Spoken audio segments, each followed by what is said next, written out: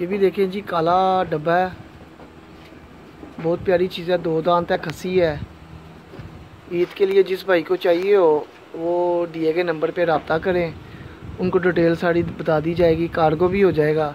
Zero three double two, four three zero, four six four nine. छड़ दो छड़ दो माशाल्लाह जी, बहुत प्यारी चीज़ है।